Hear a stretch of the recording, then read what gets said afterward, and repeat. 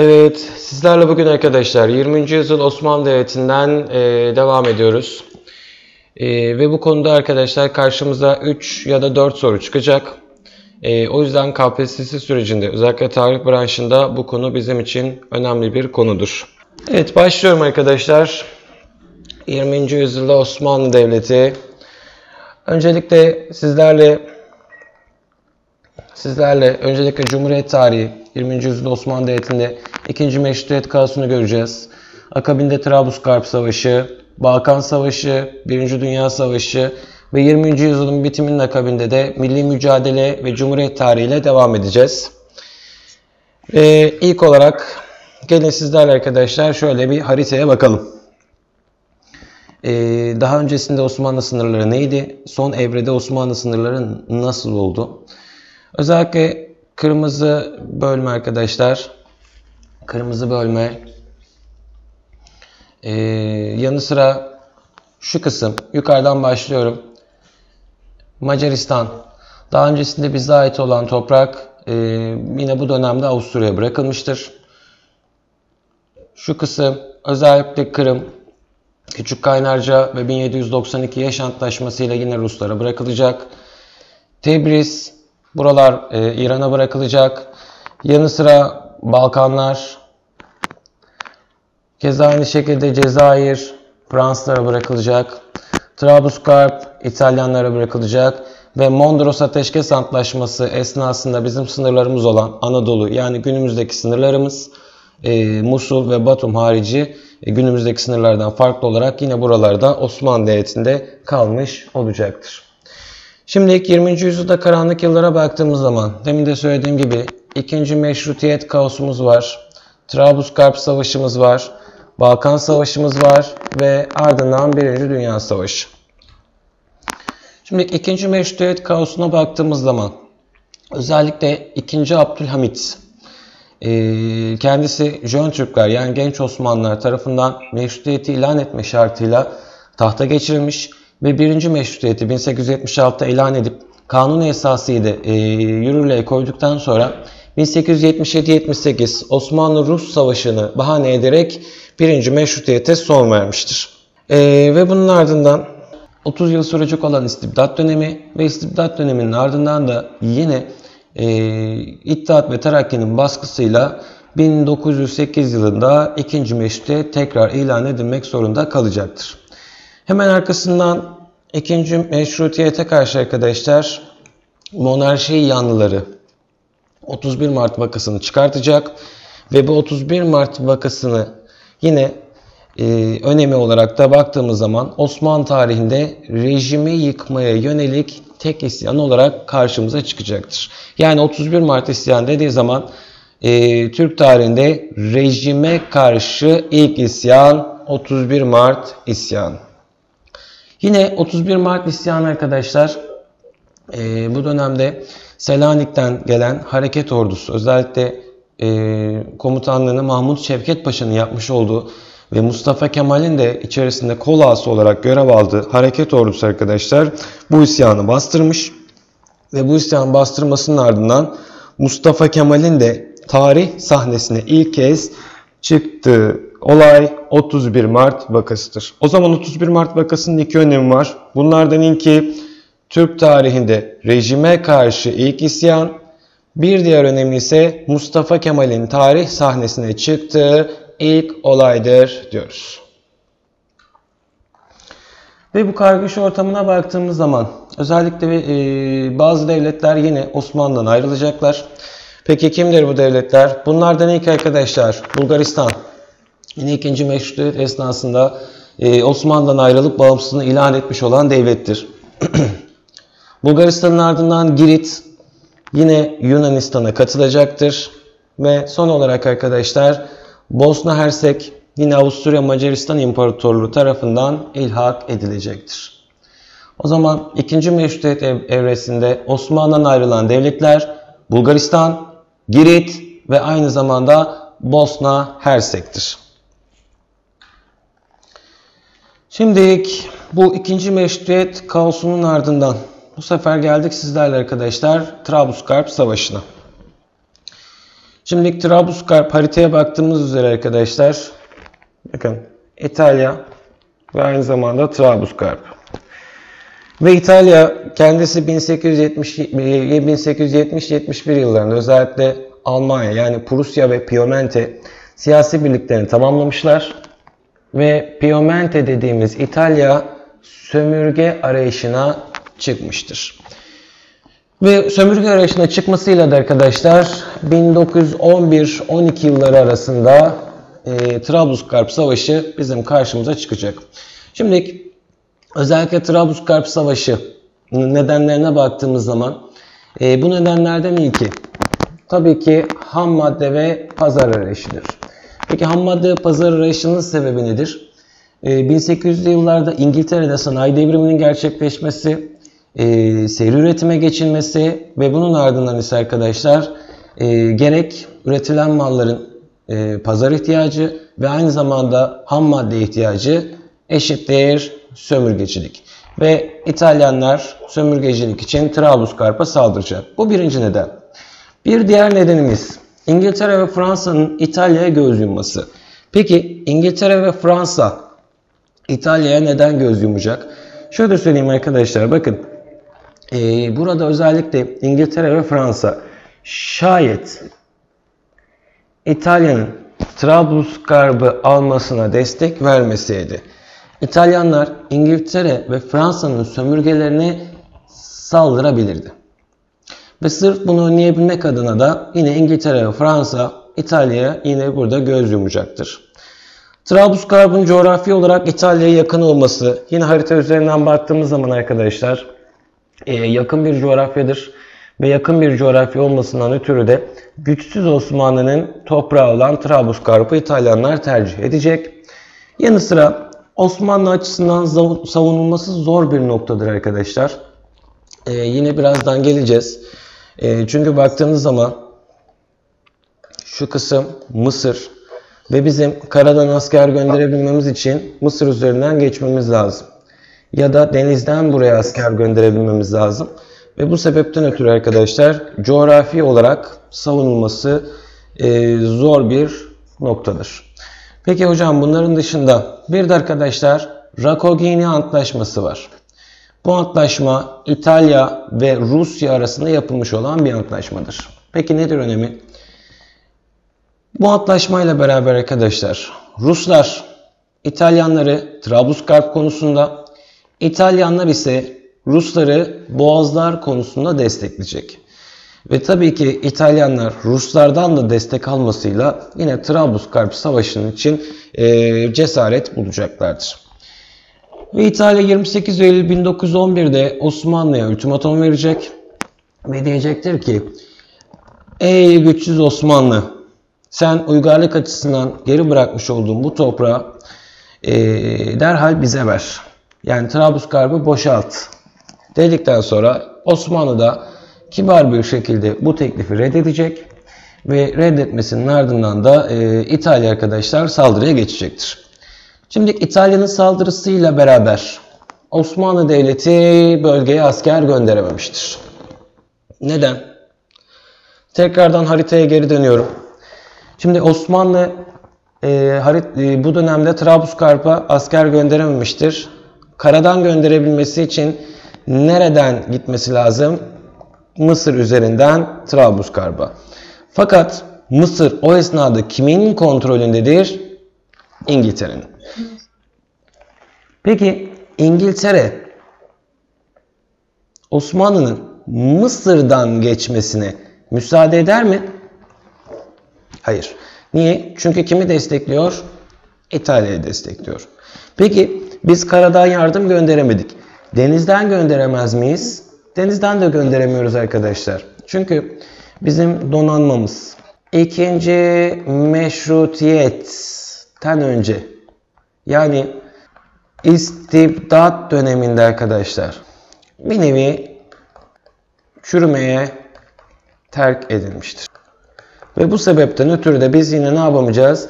Denizden Trablusgarp'a yardım gönderemeyeceğiz. Bir daha söylüyorum. Karadan Mısır üzerinden göndermemiz gerekiyor. Lakin Mısır kimin kontrolündedir? İngiltere'nin. Peki İngiltere kimi destekliyor? İtalyanları. Denizden gönderemez miyiz? Hayır. Çünkü donanmamız istibdat döneminde çürümeye terk edilmiş. Bu sebepten ötürü de biz ne yapamıyoruz? Denizden de yardım gönderemiyoruz. Peki yardım gönderemediğimiz için yardım gönderemediğimiz için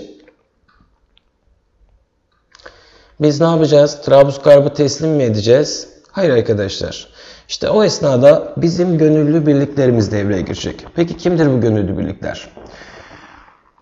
Tabii ki Mustafa Kemal, Enver Paşa, Ali Fethi Okyar, Nuri Conker, Süleyman Askeri, Kuşçubaşı Eşref.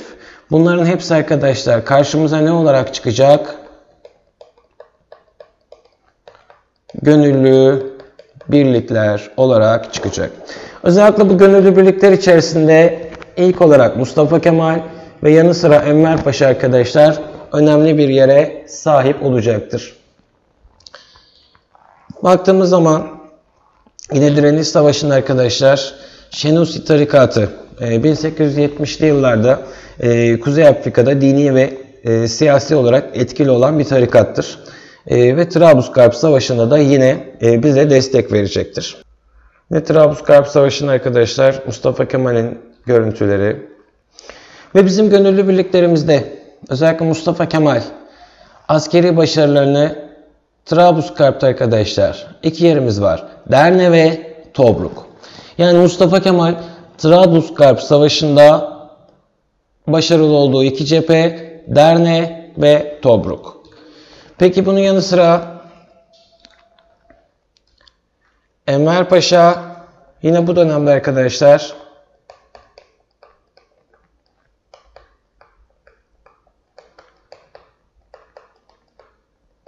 Enver Paşa da Bingazi'de başarılı olacak. Mustafa Kemal, Derne ve Tobruk. Enver Paşa ise arkadaşlar Bingazi'de düşmana karşı başarılı olacaktır. Ve Mustafa Kemal Trablusgarp'a ulaştığında kendisi gazeteci Şerif Peki Enver Paşa Enver Paşa'da arkadaşlar kuyumcu Hamdi takma adını kullanacaktır. Trablusgarp'a ulaştıklarında Mustafa Kemal gazeteci Şerif, gazeteci Mustafa Şerif, e, Enver Paşa ise arkadaşlar kuyumcu Hamdi e, takma adını kullanacaktır. Ve burada e, gönüllü birliklerin İtalya'ya karşı direnmesi İtalya'ya gerçekten zora sokacak ve aynı zamanda şaşırtacak. E, ve Osmanlı'yı arkadaşlar bu dönemde barışa zorlayabilmek adına ilk olarak kendisi Beyrut'a saldıracak. Ve Beyrut'un ardından Çanakkale Boğazı'nı abluka altına alacak. Ardından Rodos ve 12 adı işgal edecek ve Balkan devletlerini de yine bu evrede kışkırtmış olacaktır. Şimdi özellikle Balkan devletlerinin kışkırtması e, yeni bir savaşa neden olacak. Ve bunun e, sonucunda da arkadaşlar 1. Balkan Savaşı patlak verecektir.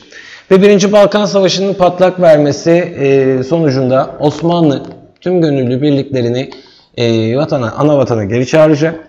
Ve geri çağırmasıyla beraber 15 Ekim 1912 tarihinde İtalyanlar ile Osmanlı arasında Uşi Antlaşması imzalanacak. Ve Uşi Antlaşması ile beraber Trablusgarp, Bingazi, Buralar İtalya'ya bırakılacak. Ve Trablusgarp Bingazi'nin İtalya'ya bırakılması aynı zamanda bizim Kuzey Afrika'daki son toprak kaybımız olacaktır. Trablusgarp ve Bingazi Uşa Kuzey Afrika'daki son toprak kaybımız. Yanı sıra Uşa beraber bölge halkı dini açıdan Osmanlı halifesine bağlı kalacak. Peki bu ne anlam ifade ediyor? Biz her ne kadar e, Kuzey Afrika'yı e, Kuzey Afrika'daki son toprağımızı kaybetmiş olsak da halkı dini ve kültürel açıdan yine Osmanlı'ya bağlı kalmaya e, bağlı kalmasına devam ettirmeye çalışıyoruz. Yani burada Uşa Antlaşması'nın bir diğer maddesi bölge halkının dini açıdan Osmanlı halifesine bağlı olmasıdır. Rodos ve 12 ada. Şöyle düzelteyim arkadaşlar. Rodos ve 12 ada geçici olarak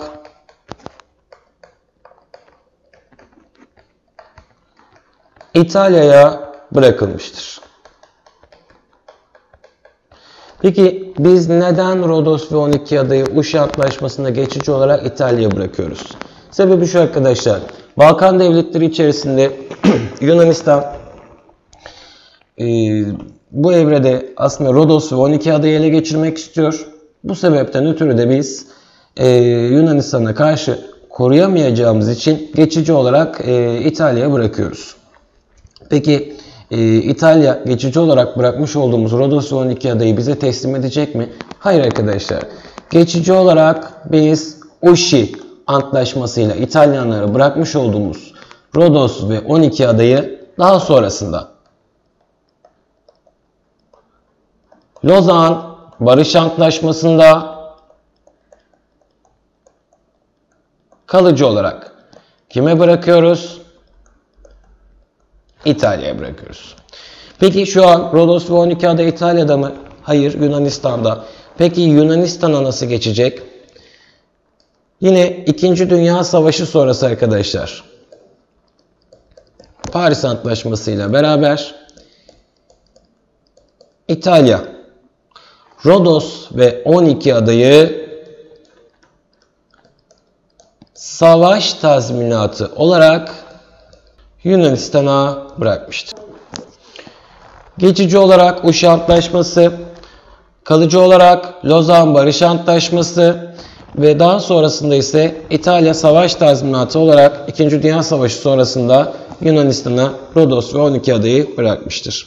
Yine ilk kez Trablusgarp Savaşı'nda uçak kullanacak, kullanılacak ve e, ilk hava saldırısı da İtalyan pilot Gavotti tarafından yapılmış olacaktır.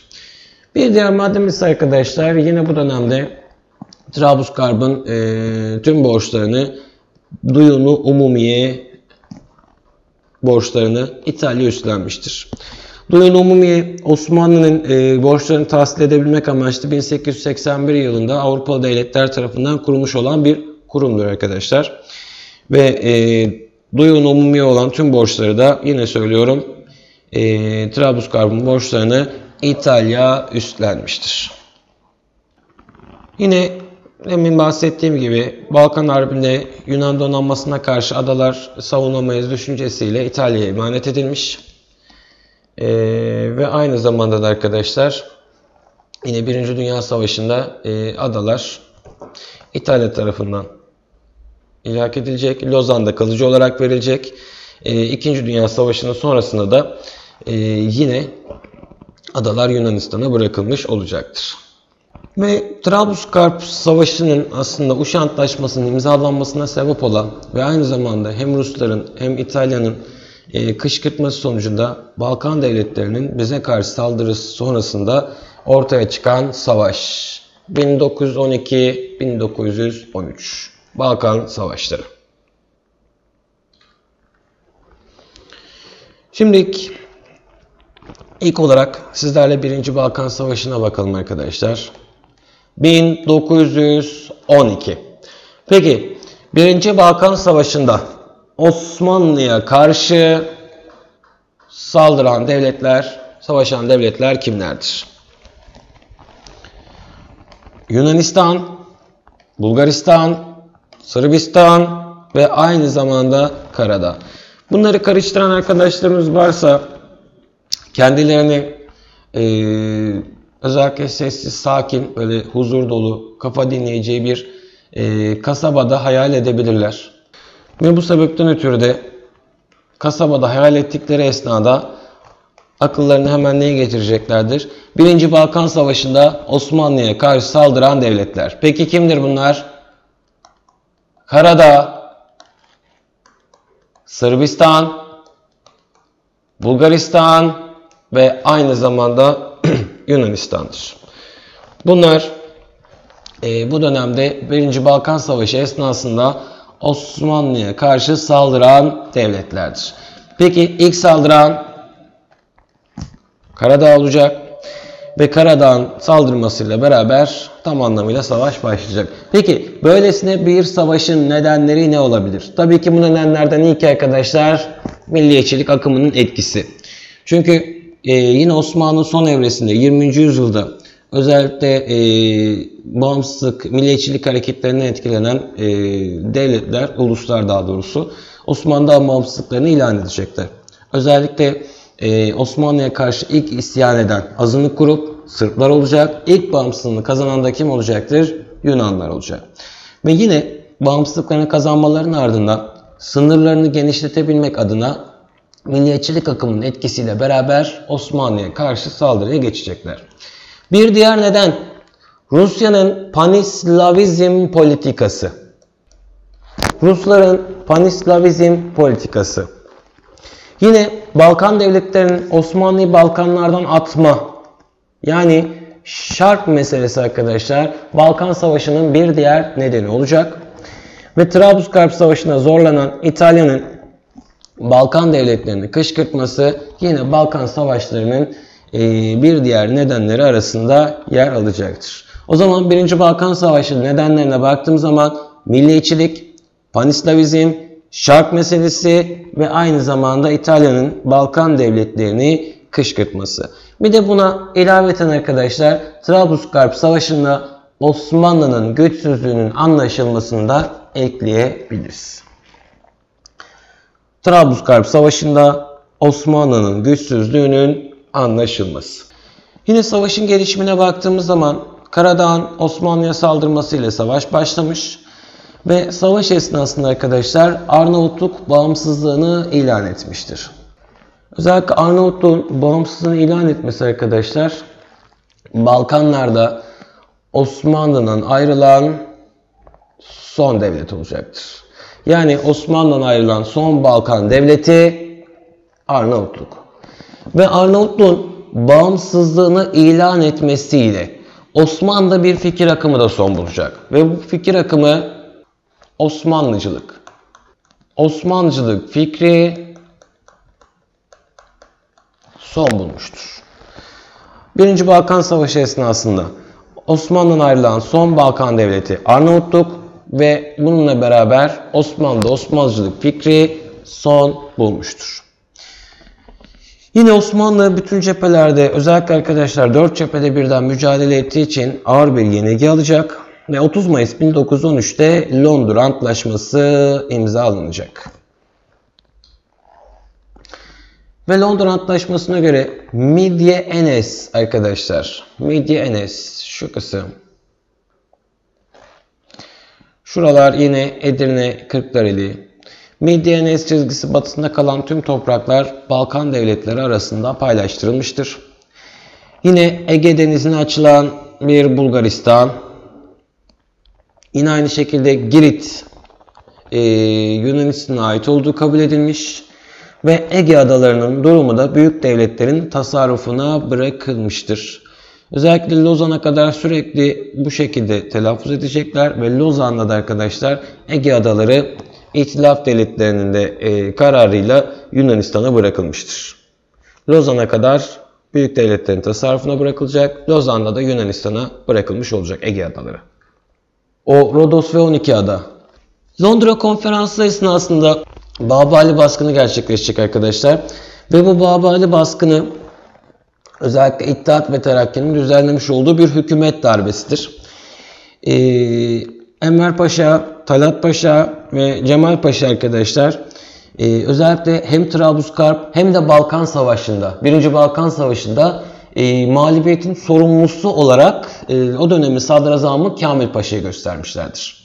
Ve e, Kamil Paşa'yı da sorumlu olarak gösterdikleri için 23 Ocak 1913'te sadaret makamına yani Babali'ye baskın düzenlemişler ve bu baskın sonucunda da hükümet darbesi, ilk hükümet darbesi de e, meydana gelmiştir. Ve bu hükümet darbesiyle o dönemin sadrazamı olan Kamil Paşa sadrazamlıktan indirilmiş ve yerine Mahmut Şevket Paşa getirilmiştir. O dönemin sadrazamı Kamil Paşa ve e, Kamil Paşa İttihatçılar tarafından e, sadrazamlıkta indirilecek ve yerine yeni sadrazam kim olacaktır? Mahmut Şevket Paşa olacaktır. Ve burada özellikle arkadaşlar hükümet baskını bakın adı üstünde hükümet baskındır. Asla ve asla rejimle alakası yoktur. Bazen arkadaşlarımız karıştırabiliyor. Babali baskını rejim değişikliği yoktur. Sadece ve sadece hükümet darbesidir. E, Türk tarihinde rejimi, e, rejime karşı ilk isyan zaten 31 Mart vakasıdır. Sonrasında da yine Şeyh Said e, ve Menemen olayları da Cumhuriyet rejimine karşı isyan olarak e, nitelendirebileceğiz. Ama burada Babali baskını rejim değişikliğiyle amacı yoktur. Öyle bir amacı yoktur. E, hükümet darbesidir. Unutmayalım. Ve sonrasında geldim 2. Balkan Savaşı'na arkadaşlar. Ve 2. Balkan Savaşı'da Bulgaristan'a karşı Yunanistan, Sırbistan, Karadağ ve Romanya gibi devletlerin saldırısıyla gerçekleşmiştir. Yunanistan, Sırbistan, Karadağ ve Romanya. Şimdi 1. Balkan Savaşı'nda olmayıp 2. Balkan Savaşı'nda yer alan devlet kim olacaktır? Romanya. Osmanlı'da ayrıyetten arkadaşlar özellikle Edirne ve Kırklareli için e, yine 2. Balkan Savaşı'nda ayrı bir cephede Bulgaristan'a karşı mücadele edecek. Şimdi 2. Balkan Savaşı'nın nedenine baktığımız zaman neden?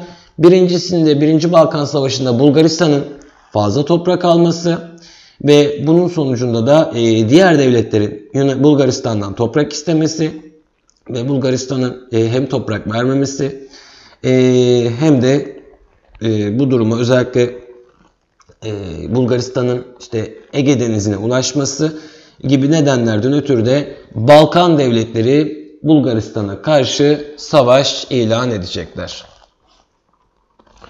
Yine Bulgaristan'a saldırmasını fırsat bilen e, demin de söylediğimiz gibi Romanya 1. Balkan Savaşı'nda yer almayıp 2. Balkan Savaşı'nda yer alan Romanya'da e, savaşa dahil olmuştur. Peki Osmanlı için ne diyebilirim? Osmanlı aslında arkadaşlar hani diğer Balkan devletleriyle bir arada değildir. Hani e, aslında 2. Balkan Savaşı'nda yer almamıştır. Ayrı bir cephede e, Bulgaristan'a karşı mücadele etmiştir. Ve 1. Balkan Savaşı'nda kaybettiği Doğu Trakya, Edirne ve Kırklareli bölgesini yine e, geri alarak Meriç Nehri'ne kadar ilerlemiştir. Ve sonuç itibariyle Bulgaristan Balkan devletlerine karşı e, kesin bir yenilgiye uğrayacak ve yenilgiye uğramasıyla beraber 2. Balkan Savaşı'nı sonlandıran Bükreş Antlaşması imzalanacaktır. Balkan devletleri 2. Balkan Savaşı'nı sonuçlandıran antlaşma Bükreş Antlaşması'dır. Peki Osmanlı Devleti ile Bulgaristan arasında antlaşmalar yapılacak mı? Sadece Bulgaristan ile değil arkadaşlar. Yunanistan ve aynı zamanda Sırbistan ile de antlaşmalar yapılacaktır. Özellikle e, 2. Balkan Savaşı sonrası Bulgaristan'ın Balkan devletleriyle Bükreş Antlaşması'nı imzalamasının ardından yine Osmanlı ile Bulgaristan arasında 1913 yılında İstanbul Antlaşması imzalanacaktır. Ve bu İstanbul Antlaşması ile beraber Edirne, Kırklareli Osmanlı'ya bırakılmıştır. Bir diğer antlaşma Yunanistan'la yapılan Atina Antlaşması'dır. Ve bu antlaşmayla beraber Selanik, Yanya ve Girit gibi bölgeler Yunanistan'a bırakılacaktır. Ve Yunanistan ile yapılan Atina Antlaşması'nın ardından bir diğer antlaşma e, yine Sırbistan ve Karadağ ile yapılan İstanbul Antlaşması. Şimdi bu antlaşma diğerlerine göre daha farklıdır. Neden? Çünkü bu iki antlaşmada toprak e, üzerinden anlaşma yapılmasının Ee, yanı sıra buradaki İstanbul Antlaşması yani Sırbistan ile Karadağ ile yapılan İstanbul Antlaşması'nda aslında amaç nedir? Osmanlı vatandaşlarının haklarını koruma amaçlı yapılmış olan antlaşmadır. İstanbul Antlaşması, Bulgaristan'da yapılan İstanbul Antlaşması Edirne Kırkları ile Osmanlı'ya verilmiş, bırakılmış. E, Atina Antlaşması Selanik Yanya burada Yunanistan'a bırakılmış. Aynı zamanda yine Ege Adaları'nın e, geleceğine büyük devletler karar verecektir. Bu antlaşma maddesinde de yer, e, yer almıştır. Ve İstanbul Antlaşması, Sırbistan'la yapılan İstanbul Antlaşması'nda da Osmanlı vatandaşlarının haklarını koruma amaçlı yapılmıştır. Ve yine e, haklarını koruma amaçlı yapılması Türkçülüğün etkin olduğunun göstergesidir. Zaten İttihat ve Terakki e, özellikle e, hükümet darbesini gerçekleştirdikten sonra artık e, fikir akımı Türkçülük olacak. Daha öncesinde e, 2. Abdülhamit döneminde e, devletin resmi politikası olarak İslamcılık, e, yanı sıra son evrede Osmanlıcılık ve Osmanlıcılığın arkasından e, yine Türkçülük ön plana çıkacaktır. Ve Balkan Savaşları'nın genel sonuçlarına baktığımız zaman arkadaşlar Batı Trakya, Selanik, yanı sıra Kavala, e, Makedonya, Arnavutluk, Ege Adaları. Bakın şurada özellikle Bozcaada ve Gökçeada hariç Bozcaada ve Gökçeada hariç e, geri kalan tüm topraklar Osmanlı'nın elinden çıkmıştır. Yine 1. Balkan Savaşı'nda demin de söylediğimiz gibi Arnavutluk bağımsız ilan etmiştir. Balkanlarda e, son toprak kaybımız arkadaşlar e, Arnavutluk olacaktır. Bu Arnavutluğun bağımsız ilan etmesi de yine Osmanlıcılık fikrinin önemini yitirdiğinin göstergesi olmuştur. Meriç Nehri sınır kabul edilmiş ve günümüz batı sınırı büyük ölçüde belirlenmiştir. Ee, ve azınlık durumuna düşen günümüzde de hala daha devam eden arkadaşlar Batı Trakya sorunu da yine burada ortaya çıkmış olacaktır. Günümüzde bile hala daha devam eden Batı Trakya Türkleri yine Balkan Savaşları'nın genel sonuçları arasında yer almıştır. Ki baktığımız zaman arkadaşlar Balkan Savaşları'nın öncesi ve sonrası bakın şu kısım komple Osmanlı'ya ait iken artık bu saatten sonra e, ne olacaktır? Balkanlar elimizden çıkmış olacak. Şimdi İttihat ve Terakki 1. Balkan Savaşı'nda Babali baskınıyla yönetimi ele geçirmiş. Osmanlıcılık akımı yerine Türkçülük akımı devlette bir etkinlik kazanmış. Ve aynı zamanda arkadaşlar e, Osmanlı üzerinde Almanya etkinliği artmıştır. Özellikle Alman subaylar e, Osmanlı ordusuna e, yine uzman sıfatıyla görev yapmış. E, bir nevi Osmanlı artık Osmanlı-Almanya yakınlaşması da karşımıza çıkmıştır. Yine Osmanlı Devleti'nin güçsüzlüğü Balkan Savaşlarına tescillenmiştir. Biz zaten Trablusgarp'ta e, Balkan devletleri de bunu anladığı için Osmanlı'ya saldırmıştır. Hani nedenlerinden bir tanesi de budur. Ve yüz binlerce Türk soykırıma uğramıştır Balkanlarda. Bunlar da yine Balkan Savaşları'nın genel sonuçlarıdır arkadaşlar. Yine fotoğraflarımız var burada. Balkanlarda Türk soykırımı. Şimdi bir diğer e, sorumuz şu. Osmanlı Balkan Savaşları'nda neden başarısız oldu? Yani bu savaşı kazanamaz mıydı? Hayır arkadaşlar kazanamazdı. Çünkü gerçekten hani başarısızlığın nedenlerine baktığımız zaman bunlardan e, ilk aslında şöyle söylerim. E, dört cephede birden tabii ki savaşmamız, mücadele etmemiz etkili olmuştur. E, bunun yanı sıra ordunun siyasete bulaşması. Yani ordunun siyasete bulaşmasıyla beraber artık e, bu sefer ne olacaktır? Mektepli alaylı kavgası. Yani bu işin okulundan mezun olan ve bu işin e, fırınından gelen mektepli alaylı kavgası yine ordunun siyasete bulaşması Balkan Savaşları'ndaki başarısızlığın nedenlerinden biridir. Ve yine Mustafa Kemal bu duruma tepki göstermiştir arkadaşlar. Orduda yapılan gençleştirme operasyonu özellikle 40 yaşın üzerindeki e, askerlerin çoğu terhis edilmiş ve bu sebepten ötürü de bizde özellikle Balkan Savaşları'nda personel eksikliği yaşanmıştır. Lojistik ikmalin ilkel yöntemler nedeniyle düzenli yapılamaması yine bu Balkan Savaşları'ndaki başarısızlığımızın bir diğer e, nedeni olmuştur. Ve demin de söylediğim gibi arkadaşlar birden fazla cephede savaşılması. Bu da yine Balkan Savaşları e, savaşlarındaki başarısızlığın nedenleri arasında yer almıştır. Evet, Balkan Savaşları ile ilgili söyleyeceğimiz hususlarımız bunlardır arkadaşlar. Zaman baktığımız zaman 2. Meşrutiyet, Trablusgarp, 1. Balkan, e, 2. Balkan ve Balkan Savaşı'nın sonuçları e, bu şekilde karşımıza çıkmıştır.